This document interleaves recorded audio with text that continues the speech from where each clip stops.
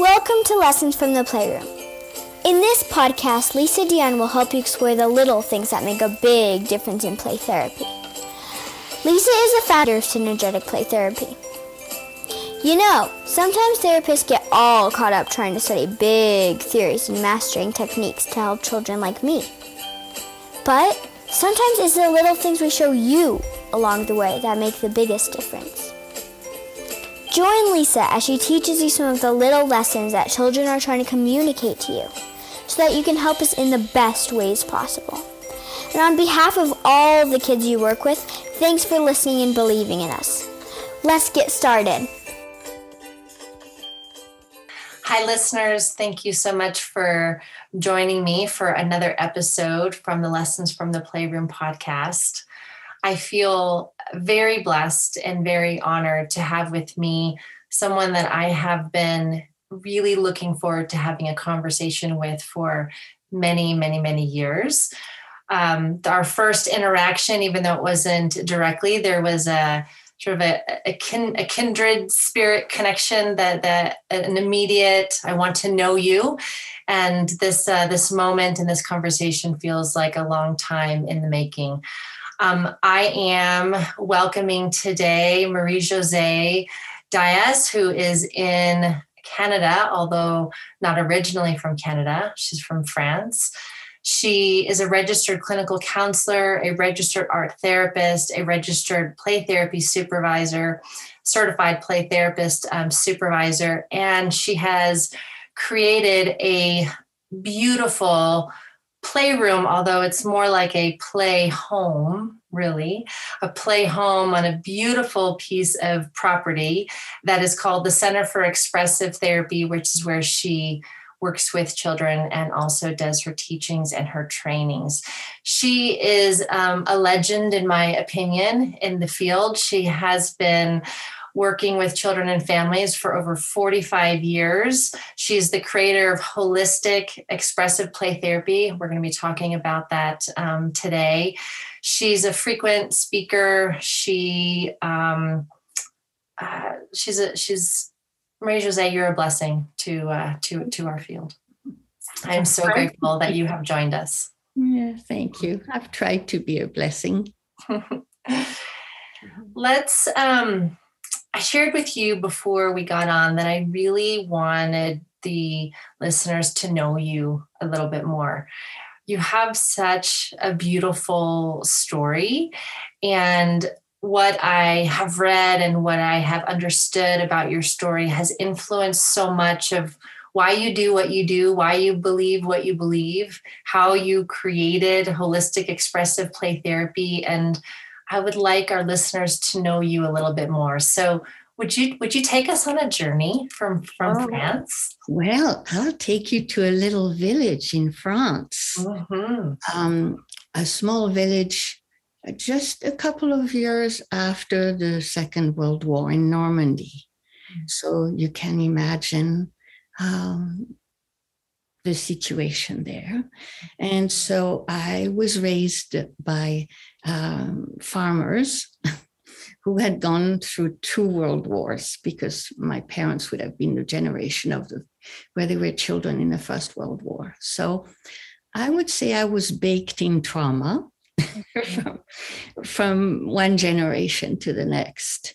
And and I I was a bit different um, a, a dreamer.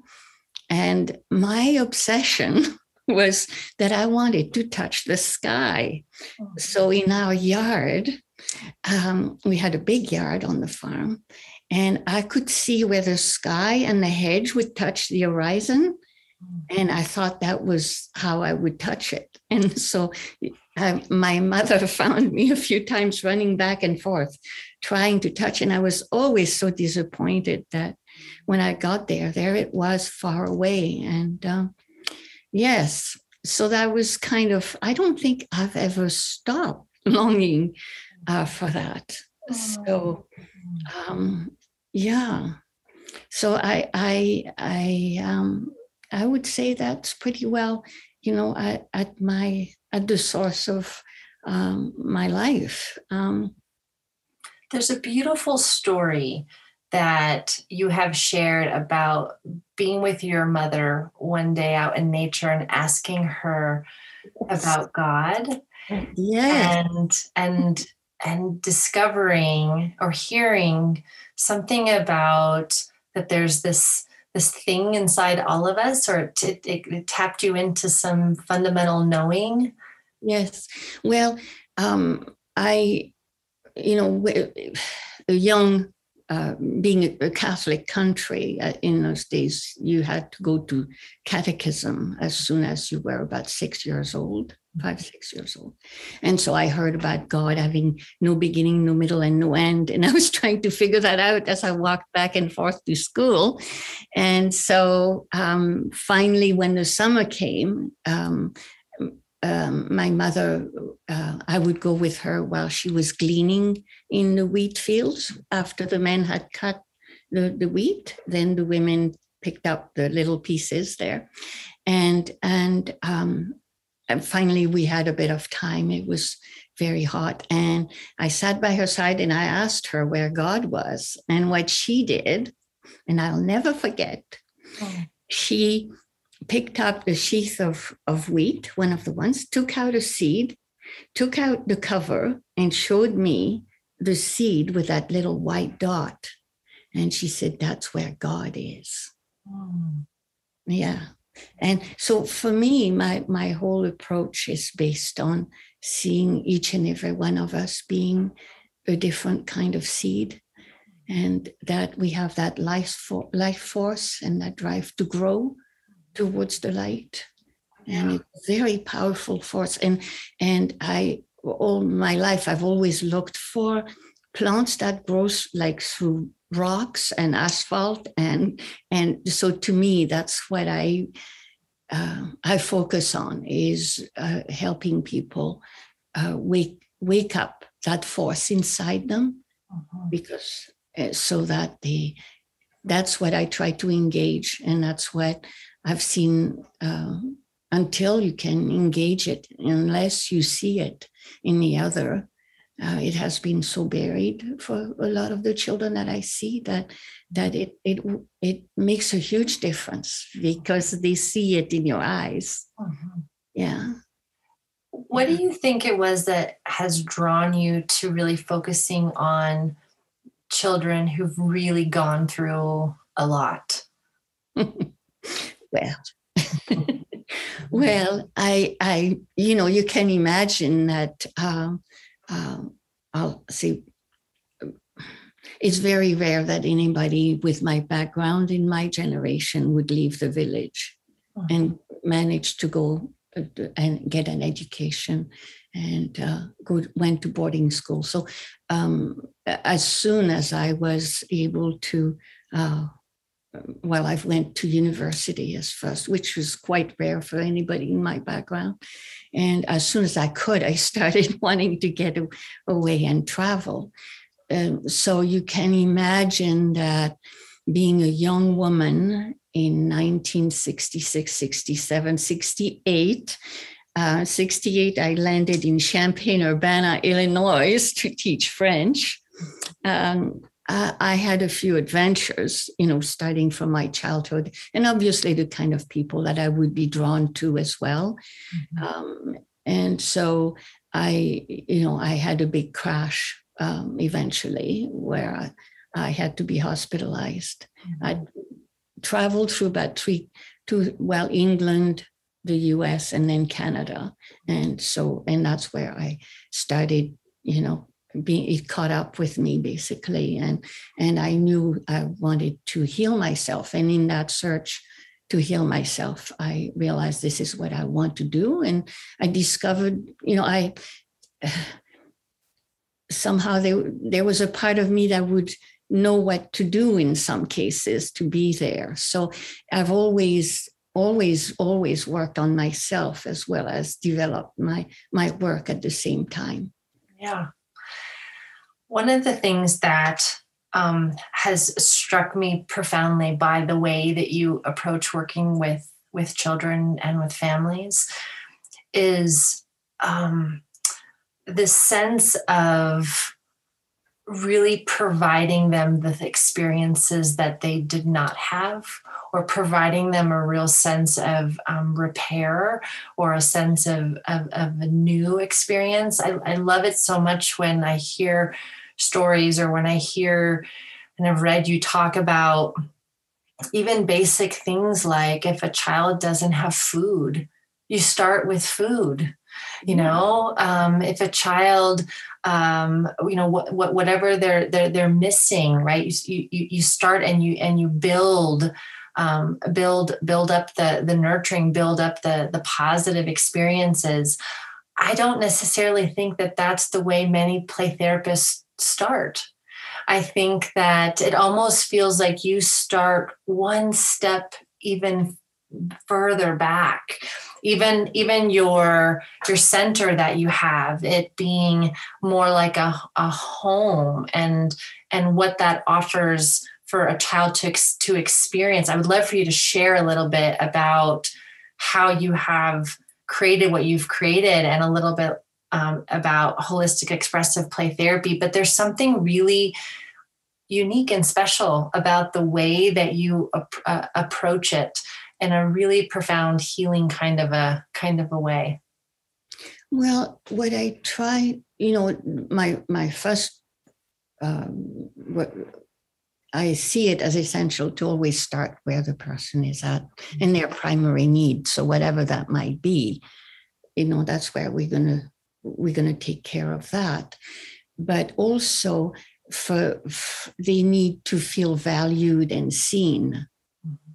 You cannot feel connected without being seen. Mm-hmm. You, and and it's the being seen that I focus on and and the sensing of what that primary need is and then providing it. So I, you know, my first years in this field, um, I was um, I worked in a in a treatment center for adolescents, mm-hmm. and that was sink or swim. Let me tell you, uh-huh. yeah. And and so I learned, I learned that therapy could be done anywhere at three o'clock in the morning when there's an earthquake. This you know do you have to to comfort them? Or it could be in the kitchen or it could be while you're driving somewhere. Or so i by the time i moved on to working with children which is what i really wanted to do i i didn't have anybody to tell me what i could do and not do because there wasn't anything where i was. So i i continued you know, to see what the child needed. And then if I didn't have it, next time I would have it. Uh-huh. And it worked.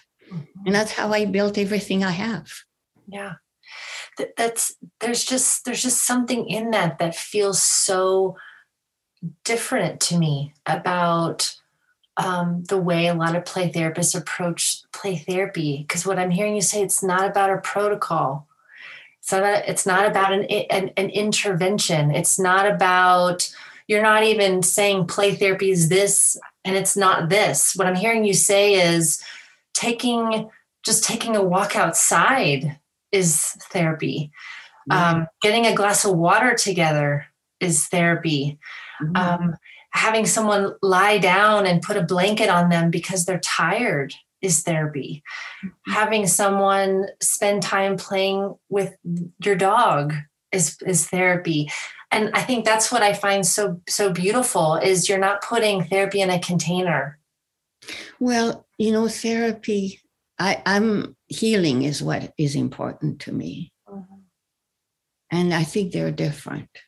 Yeah because what what i focus on is how am i going to help this person connect to who they truly are in their true nature which is where all the answers are to help them heal themselves yeah. so i need to make them feel safe physically mm-hmm. emotionally cognitively depending on the age and spiritually, which I mean by seeing them and their value and their true nature. So, so it's kind of layers and layers of of safety that that you create to hold them. mm-hmm. so that they can relax enough to connect with who they are. Mm-hmm. And it comes to them. It's just amazing. And just, you know, and I have never stopped doing the work, by the way. I still have a full practice and uh, not i don't see able to see as many people as i used to or as many days but i don't I can't I can't imagine not doing it. Mm-hmm. But one of the best sessions I had last week was it was pouring rain, and this girl who's is um, selective has selective mutism and has gone through horrors. Uh, we went and and played in the puddles, and you know, and and with gumboots, and uh, she, it was one of the best sessions she'd ever had. And the connection, this the next session she came and she wanted to draw right and stay inside and and and and was able to get to to the other parts because she'd ex- experienced something uh, before. And and of course now they're saying that nature is essential. And then you know uh, animals and expressive therapies. I was a bit of a strange bird back in the early 80s, let me tell you. yeah. you you you keep using this this word safety. I'm curious if you had to define that, how would you actually define what safety is or what it feels like? More than anything, I think it's to feel is to feel received and connected with someone. Mm-hmm. So safety in the, in the presence of another. Because mm-hmm. um, safety alone with your companion mm-hmm. in a cabin and you feel safe is very different when a person has had gone through complex trauma and so on because people is where the trauma is, right? Mm-hmm. So, so you have to feel safe in the presence of another human being. Mm-hmm. And it's safe with somebody who's going to guide you to connect with yourself and recognize that uh, the things I've seen come out of the children, the, what they've created, and so on. It's, it, it, I, you know, it's not just a word for me, innate wisdom. That is, and I've never met anybody that didn't have it. Yeah. Some people are more disconnected from it than others. Yeah. But that safety has to do with feeling held without touch in a way, you know, all surrounded um, by this gentle warmth, mm. right? And you know that you you you you can be accepted emotionally you know any feelings you have will be accepted and followed and and guided through you know being able to have them without getting in trouble right? That's what the and and and if there's something that you don't understand that you want to know you know it, it's safe to ask any question and you know so physically of course here no one gets hurt. Emotionally you can have all the range of feelings and cognitively and then in the whole time you're being seen and help to get closer to who you are which is very unique yes. and so so i always see it as a mixture of nature mm-hmm. nurture and trauma mm-hmm. and how they've come together is as unique as your fingerprints mm-hmm. very much so Mm-hmm. So if I go in there thinking I know how it's going to be, what to do. Yeah. Yeah. It, well, and even as you're talking about our own individual blueprint, mm-hmm. I I'm appreciating well there's there's an assumption i'm making right now so you can let me know if this assumption is correct or not but uh, what I'm aware of is you have so many different opportunities and ways that a child can express themselves.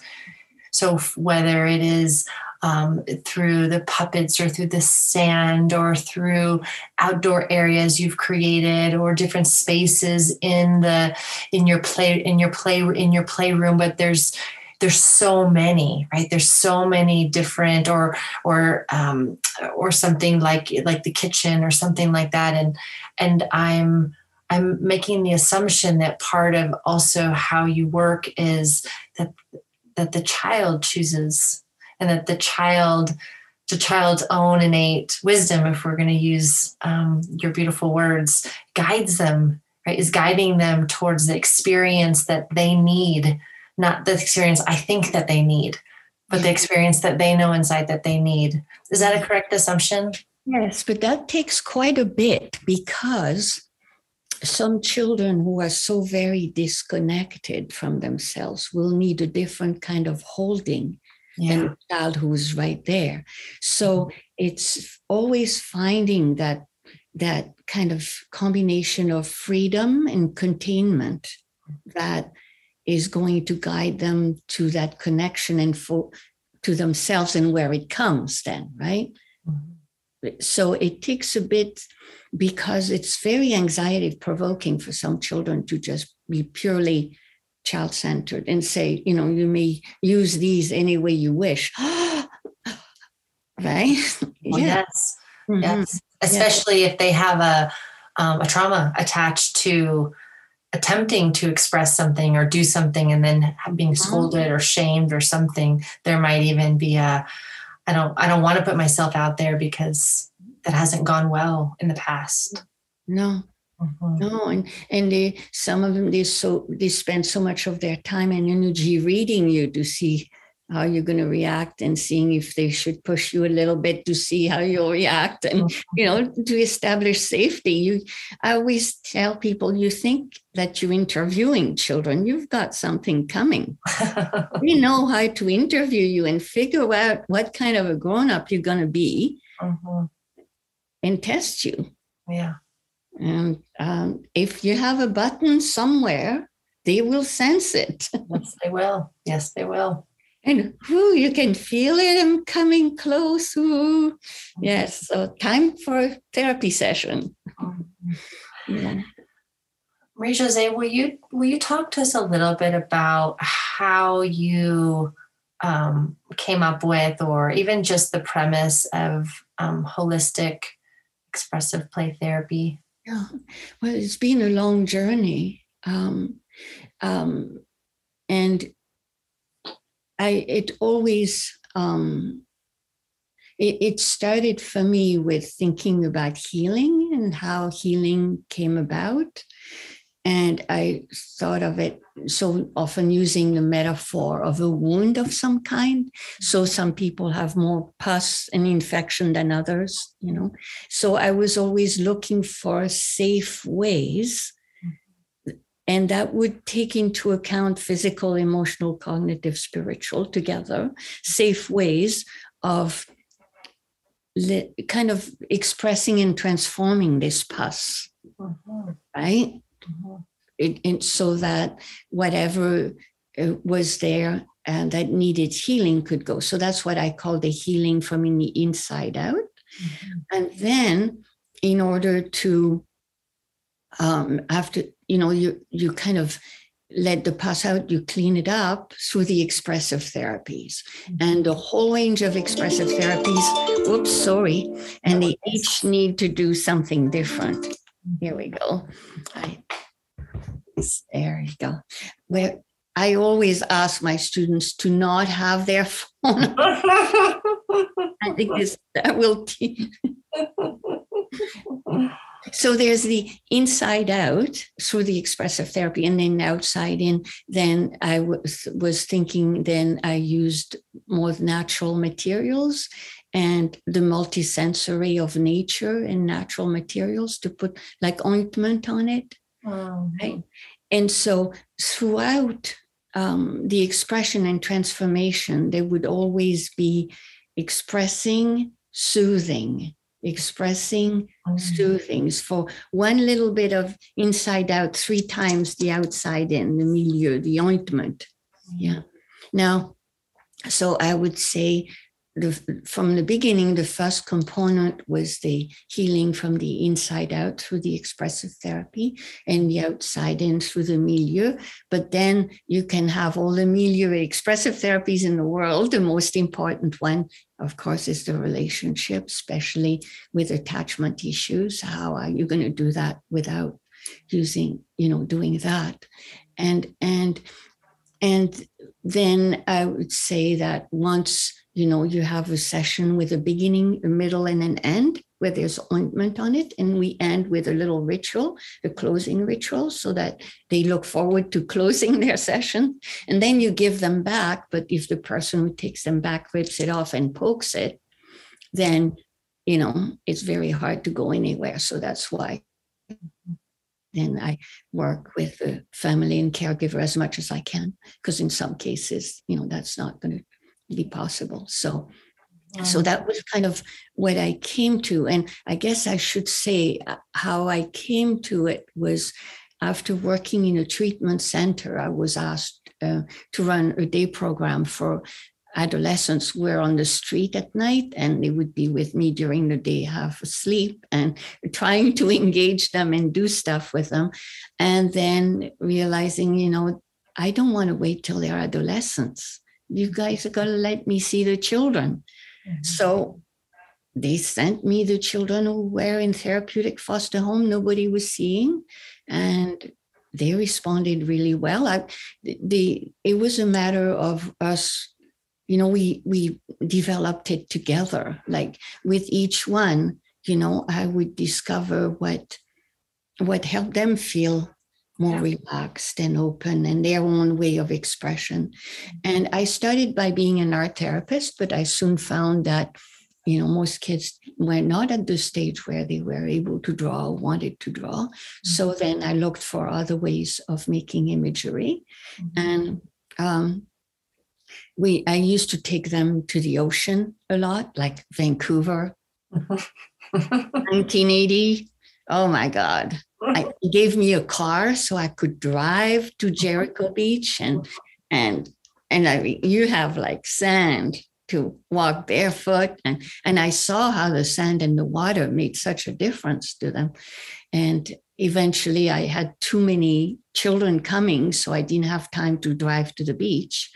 And so I had them get, make me a, a, box, an outdoor sandbox, and then used some of the things we gathered because, you know, I, I you know, just had seashells and feathers and driftwood, that kind of thing. And I got into kayaking in those days too. So, um, and and um, not with the children though, uh, on my yeah, and and and then we um, we um, we made images in you know outside in the sandbox. And i was surprised with some of the things that were starting to happen. I could see some images emerging and i always used photography in those days to make them an album of memories with the things they'd made and so on. And i could see there was like a pattern in this and, you know, we also have a lot of rain. So sometimes we couldn't go outside in the sandbox outside. So um, the children, you know, asked for it when they came. And then I said, well, I'm sorry, I don't have a sandbox outside. And they said, they said, well, why not? I said, yeah, why not? fun. And so I went to the photography store, Lens and Shutters, and got a photography tray mm-hmm. and got some sand from Jericho Beach and cooked it at my house. And I'm telling you, it smells and it and everything because it smells way worse if you don't cook it. And and and it's that's how it all started and and continued on. And eventually, um, I um, the program I was running was shut down, and so I um, um, I had the choice to become a social worker or quit. And I said I would quit and try and do it in my basement in my little house in East Vancouver. And, and I, then I went back to, uh, to university, to UBC, where I had come at first to teach French.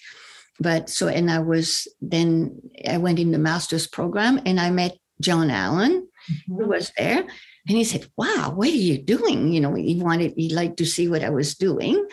And then he said, You know, there is a woman in Switzerland. Her name's Dora Kalff and she does stuff like this you should look her up and so so um, i i found that dora kalff existed but she uh, was not happy to be um, when i told her i'd been told i was doing sand play said how dare you you weren't trained with me so i never went to dora kalff because she was so unpleasant and i continued with developing my own way which i teach now yeah. So now you have a story. yeah. Well, it's beautiful. And it so highlights the phrase that I loved when you said, well, we built it together.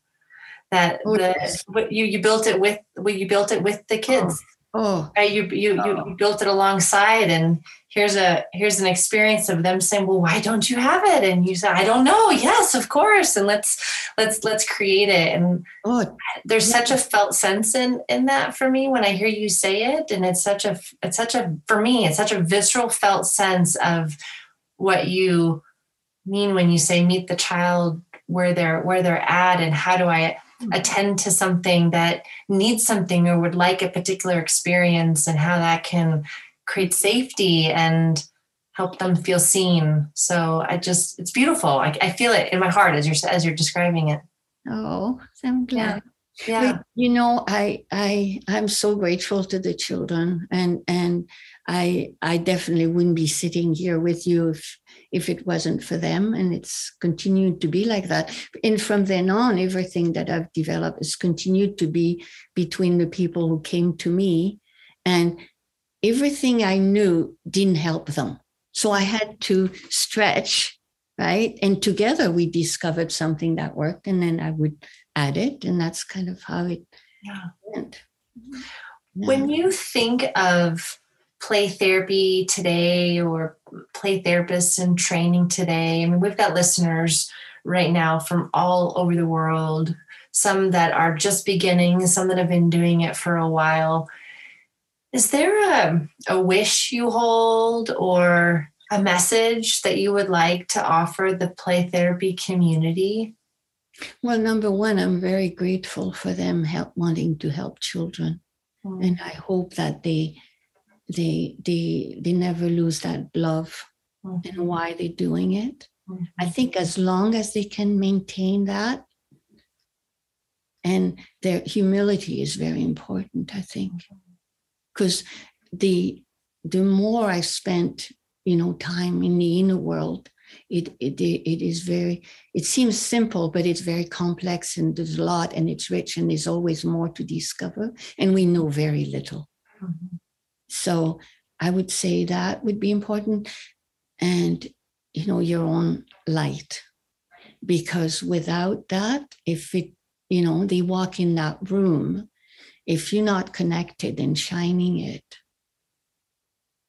and you learn, you know, some need it stronger than others, right? You have, mm-hmm. uh, but, but then nothing else is going to happen. And I would say, I would encourage every play therapist to discover their own innate wisdom and make sure that whatever they take into that playroom, yeah. they've digested and made their own. Because I've seen the harm in imitations. I've seen sometimes people who've gone to so many workshops and they have so much information, but you see the poor child trying to kind of being mixed up from one way of being to the other. So I always encourage people to find their own true theoretical background. Like, how do they see themselves and hu- human beings and healing and, and what it is that they do? That, that meaning is essential. And, and it's, yeah, it's been challenging lately for sure. Yeah. I'm, I'm grateful I came at a time I did because um, it has become so cognitive in some ways mm-hmm. that I I don't have, you know, like that's where I still have some learning kinds of things. Why I don't write, because um, some of the little scars left on my brain, I think that I haven't been able to clear totally.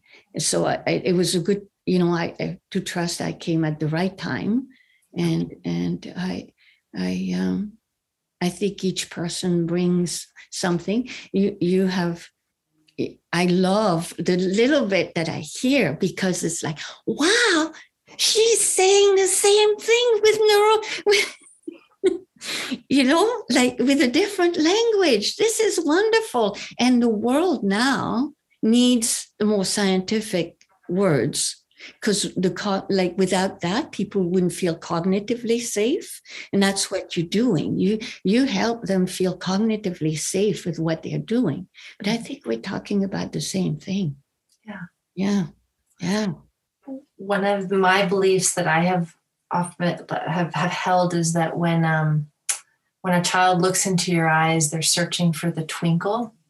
Yeah. And and that's my way of saying do you know yourself? Because that's my belief. When when we're connected with our own sense of self and our own innate wisdom there's a natural twinkle right? There's a there's a natural um um i don't know there's something that that's that's um it's a little bit more of a connection or a lot more of a connection. And I, I believe kids know that and they see it and they pick they pick up on it. So I love what I love. I love what you're saying, and I love the mirror that's uh, that's happening in our in our conversation.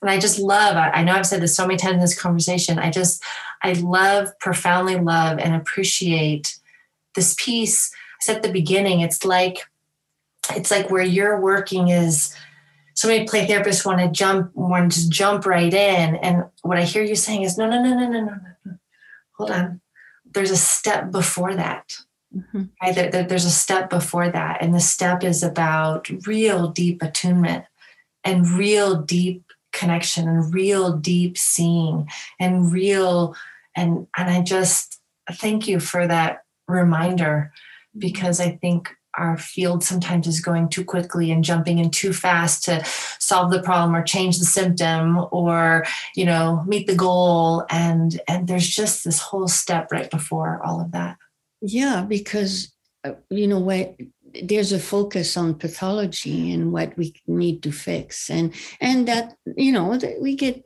i mean that the pressure is on to do that and fast. Mm-hmm. cheap and fast and quick right? That's increased. I've seen the change happen very much so. And and um and i've seen it do harm. Mm-hmm. and and so and i've seen really good people being burnt out like so many people that I, you know, taught because I've been sharing this stuff for what 30 over 35 years now, maybe more. And a lot of them have retired and burnt out or because um, because of well, without that connection to ourselves, this world is impossible to manage. Mm-hmm. And and and there's great depression and disconnection. And um, and of course you know i personally i go you know i'm never always sparkly or connected. I'm still looking for that connection you know? Like i don't know anyone who has it all the time. And but um but that's you know that's a primary one. It is. Yeah well this has just been beautiful um so appreciate the connection and appreciate knowing you a bit more. And um, I just love that. Come to Vancouver. I am going to come to Vancouver, and I'm going to come say hi to you, and I'm going to come spend some, some spend some time with you um, directly. That is going to happen. I would love for listeners. I was noticing, is that your dog in the background? yeah, she's been sleeping. She finds she finds these because this is where I sit when I do online sessions, mm-hmm. right here, because you know of COVID and all that, and uh, and she is really missing seeing people in person, which I do again now. But yes. yeah. Can you give us your website so that the listeners can go and learn more about you and see what you're doing? Okay. Mm-hmm. So it's www.centerforexpressivetherapy.com. So that's pretty simple. It, and you, even if you uh, you spell it center with an R or ER, it will show up. Mm-hmm. Yeah.